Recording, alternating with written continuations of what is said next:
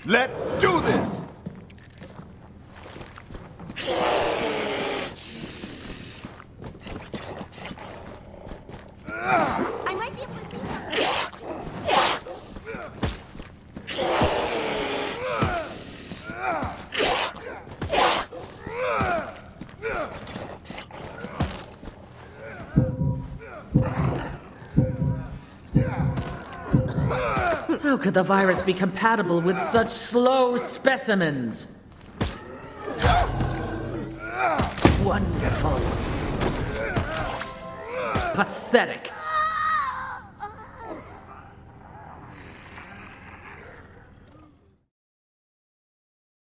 I knew you would never escape, but